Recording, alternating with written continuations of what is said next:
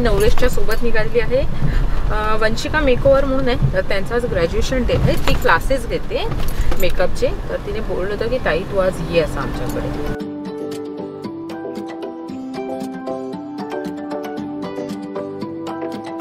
रंजिता यांचं वंशिका मेक अकॅडमीच्या इव्हेंट्समध्ये आगमन झालेलं आहे. सर्वांनी जोरदार टाळ्यावर त्यांचा सत्कार करायचा आहे. युट्यूब ब्लॉगरमध्ये नावारूपास आलेल्या रंजिता आपलं खूप खूप हार्दिक हार्दिक अभिनंदन.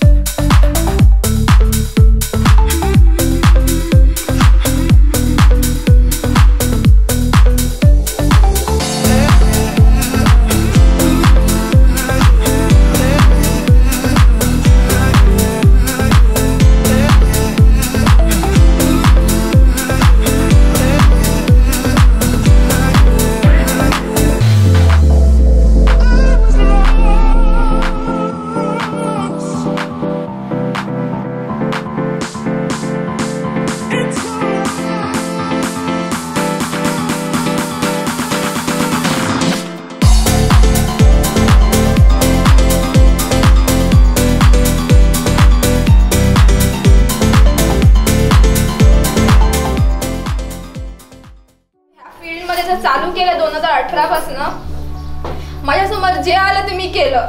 मी कोणत्याच गोष्टीसाठी कधी नाही नाही सांगितलं की मला हे जमणार नाही की मला ते जमणार नाही. ऍक्च्युली मला मी इथे कोर्स केला. आधी मला घरून जरा पण परमिशन नाही देत होते. मी जेव्हा पप्पांना सांगितलं मला दहावीला सेव्हन्टी टू पर्सेंटेज मिळालेले. पप्पांची इच्छा होती की मी एक ड्रॉइंग टीचर व्हावं. म्हणजे ड्रॉइंग चांगली आहे म्हणून पप्पांनी फॉर्म वगैरे सगळे आणलेले. की तू जे जे कॉलेज आहे तिकडे ऍडमिशन आणि ड्रॉइंग टीचरसाठी बाकीचं ते चालू कर. मी सांगितलं मला पार्लरचं करायचं आहे दुसरं सलून मोठं आणि मला पाठवलं दुसरीकडे. आणि त्या जिथे पाठवलं तिथे काहीच नव्हतं. काहीच नाही म्हणजे जाऊन नुसती प्रोडक्ट्स पण नव्हते काहीच नव्हते. मग मी जाऊन बसली तिथे आणि पूर्ण दिवसामध्ये तिकडे एक पण नाही क्लायंट आला. माझं मनच नाही लागत होतं की म्हणजे मी मला प्रोडक्ट नॉलेज घ्यायचं होतं म्हणून. नंतर मग लंच टाईम झाला तेव्हा मी अजून दुसरे माझ्याकडे कॉन्टॅक्ट होते. त्यांना परत फोन केला की मॅम जॉब असेल तर द्या प्लीज तर एक मॅम होती तिने मला बोलवलं अंधेरीला. पण ते खूप जास्त लांब होतं आणि परत अपडाऊन करायला मला नसेल तर जमलं. मग पप्पांना सांगितलं. मग पप्पांनी त्यांच्या ऑफिसकडून मला परमिशन घेतली की मी पप्पांसोबत राहील. माझे पप्पा पण कम्प्युटर इंजिनियर आहेत. ते अपडाऊन करायला जमत होतं म्हणून मुंबईलाच राहायचे. मग मी तिथे राहायचे.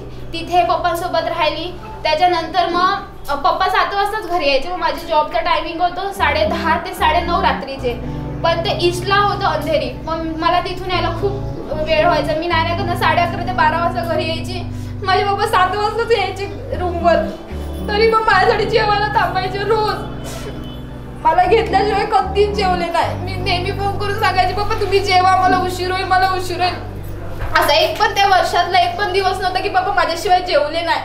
रोज जे- जेवण सात वाजताच घेऊन यायचे. खानावळमधून माझ्यासाठी थांबायचे जेवायला. सतराशे म्हणजे किती फोन करणार? कुठे आहे? निघाली का? निघाली का? साडे नऊ वाजल्यापासून पप्पांच्या घरी पोहोचेपर्यंत फोन मग मी तसं तिथून तिथे तीन महिने केला पण तिथे मला खूप प्रॉब्लेम होत होता. कारण की एका पण दिवशी सुट्टी नाही. आणि मी लगभग तीन महिने एक टाइमचं जेवणी पण नाही. कारण की तिथे खूप मध्ये होतं आणि तिकडे जेवणाचं काहीच नव्हतं. मग मी पप्पा मला चिवडा घेऊन इकडे आली आठवड्यातून एक दिवस यायचे. माझी मम्मी मला चिवडा भरून द्यायची बिस्किट्स द्यायची का हे तरी खा. मग तिकडे मी नाही लगभग तीन महिने मी फक्त चिवडा आणि बिस्किटवरच एक टाईम काय केलं. आणि संध्याकाळी मग पप्पासोबत जेवायचं असेल तीन महिने गेल्यानंतर मग तो जॉब मी सोडला. जोपर्यंत आपल्याला काय येते ते आपण लोकांना दाखवत नाही तोपर्यंत आपली कोणीच कदर करणार नाही आपली कलाची बरोबर की नाही? आपल्याला काय येते ते आपल्याला लोकांपर्यंत पोहोचवणे गरजेचं आहे. बाबा मला म्हणजे आमच्या फील्ड मधलं सांगते तू कि- मी किती चांगला मेकअप करते हे तुम्हाला बघेल तेव्हाच समजेल. मी तुम्हाला सांगेल मी एवढं छान करते हे करते पण तुम्ही बघणार तोपर्यंत कसं समजणार? थँक्यू सो मच इथे बोलवण्यासाठी. वंशिका. वंशिकाला मी पहिल्यांदा भेटले होते तिच्या मैत्रिणीच्या शॉपच्या ओपनिंगमध्ये हो. आणि मला ऍक्च्युली तिचा स्वतःचा लुक खूप आवडला होता. किती गोड दिसते. ही. असं. आणि त्याच्यानंतर तिने मला जेव्हा इथे बोलवलं घरी आली होती तिला सांग तिने सांगितलं की ताई असं असं आहे ग्रॅज्युएशन ते आहे तर मला बोलवायचं तुला आमंत्रित करायचंय. मी म्हटलं हा येईल ना नक्कीच येईल आणि मला माहितीच होतं की आज मला बाहेर जायचं होतं. पण त्यामध्ये पण मी धावपळ करत आम्ही सकाळी गेलो मग तिकडनं घरी गेली धावपळ करत मग आले. पण आज मला असं वाटलं की मी आली इथे ते खूप बरं केलं कारण की मला वंशिकाकडनं पण खूप शिकायला मिळालं. तिचा जो तिने एक्सपिरियन्स शेअर केला खूप खूप खूप छान होता तो एक्सपिरियन्स नो बोले तो नेक्स्ट ऑपॉर्च्युनिटी पस्तीस इंटरव्ह्यू देणं हे काही सोपं काम नाहीये. आपण जे बोलतो, बोलायला आपण खूप काही बोलून जातो आणि आपल्याला फक्त फ्रेम दिसतं, ते फेम दिसतं, नाव दिसतं. आणि यार इसको तो सब इजीली मिल गया इजीली कुछ नहीं मिल- मिलता इस दुनिया में. कुछ नहीं मिलता. आपको हर चीज़ कमानी पड़ती है. चाहे वो नाम रहे, चाहे वो दौलत रहे या कुछ भी रहे, या वो पढ़ाई रहे अगर आप मेहनत करोगे तो मिलना पक्का आहे आणि तिची ती मेहनत आज इथे बोलते आज आम्ही इथे सगळेजण आलोय ना तर ती तिची मेहनत बघून आलोय तिचं नाव बघून आलोय. तुम्ही हे आता हे जे नंबर आहेत ना जे फर्स्ट नंबर येईल सेकंड येईल थर्ड येईल किंवा नाही येईल काय फरक नाही पडत ह्याच्या पुढचे पाच वर्ष तुम्ही आता मोजा की पुढच्या पाच वर्षानंतर मी कुठे असेल सुरुवात जेव्हा मी केली ना तेव्हा मी पण काहीच नव्हती मला कोण नाही ओळखायचं पण आज जिथे जाते ना तिथे सगळेच ओळखतात आणि अगदी सगळे प्रेमाने जवळ येतात मला खूप भारी वाटतं सगळे म्हणतात अरे ताई मी तुला बघते कोणी ताई म्हणतं कोणी काकी म्हणतं कोणी मावशी म्हणतं कोणी रंजिता बोलतं. जे काय बोलू दे. पण खूप छान फिलिंग आहे.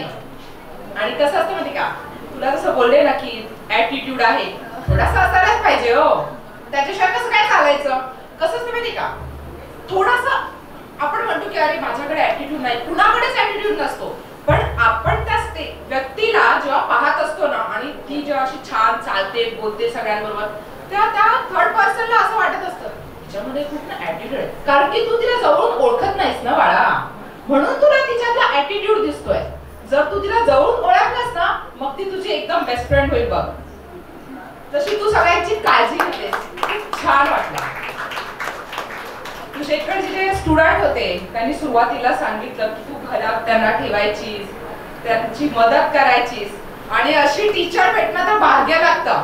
सिरियसली सांगते खूप छान आहे.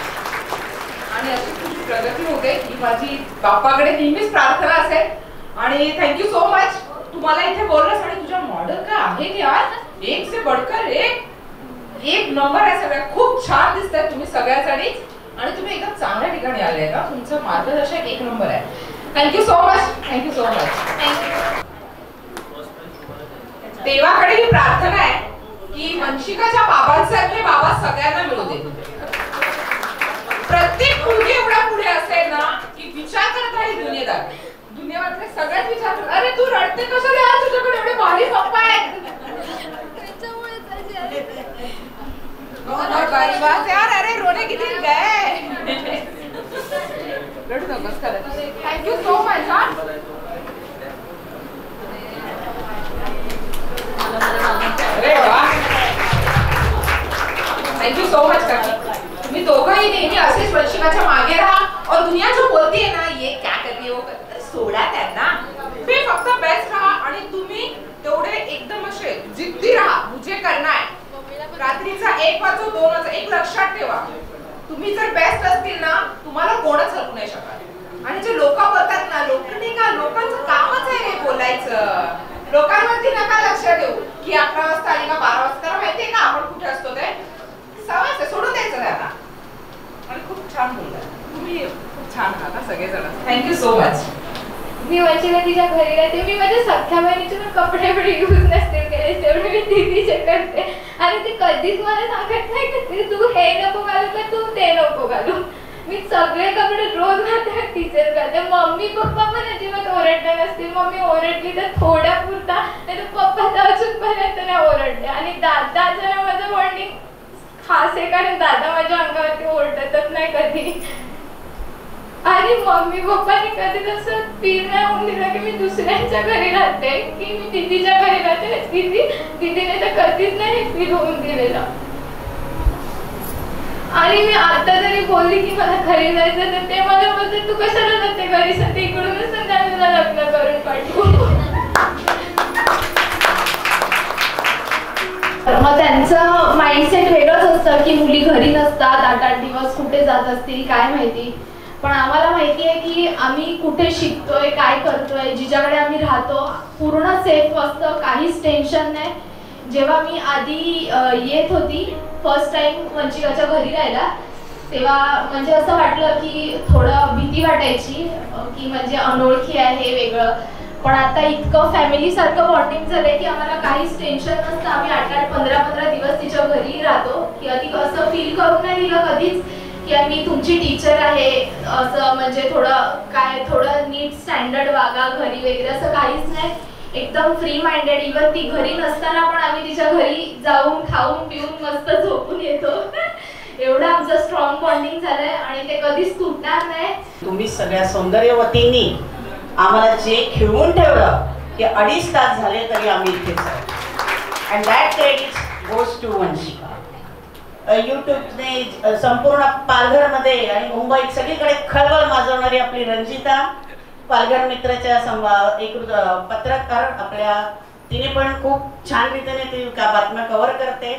अशी अंकिता आणि तुम्ही सगळ्या सगळ्या स्टुडंट्स आणि त्याच्यावर आलेल्या सगळ्या मॉडेल्स सगळ्यांचं खूप खूप अभिनंदन. म्हणजे मी पण जिद्द धरली की नगर अध्यक्ष व्हायचं. तसंच वंशिकाने जेव्हा पस्तीस वेळा इंटरव्ह्यू दिले त्यावेळेला तिने जिद्द धरली की मी काहीतरी करून दाखवीन. प्रत्येक यशाच्या मागे हे पहिलं स्ट्रगलच असतं. जी व्यक्ती स्ट्रगल करत नाही घरी बसून आराम करते मग समजा एखादा व्यक्ती करोडोपतीच्या घरी जन्माला आला आणि त्या मुलाने काहीच नाही केलं तरी त्याला त्याच्या आयुष्यात तो काही गेनिंग करू शकत नाही. म्हणून जेव्हा आपण काही ना काही गेन करायचं आहे त्यासाठी आपल्याला अमिताभ बच्चनचे जे वडील हरिवंशराज बच्चन आपल्याला पण ती कविता माहीत असेल. लहरों से डरकर नैया पार नहीं होती. लहरों से डरकर नैया पार नहीं होती कोशिश करने वाले की यंग नगरसेविका हिंदवी पाटील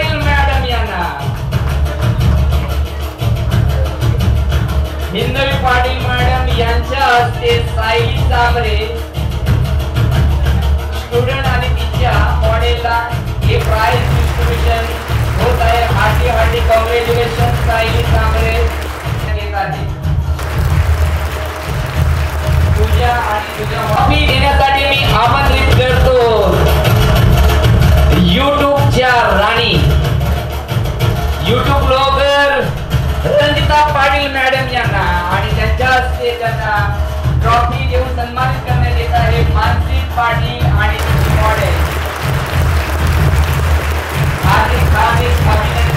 मॅडमच्या हस्ते आणि खरोखरच त्याबद्दल मी Siddhesh Tare Vanshika make over academy तर्फे आपलं मनपूर्वक आभार व्यक्त करतो. असेच कधी इव्हेंट झाले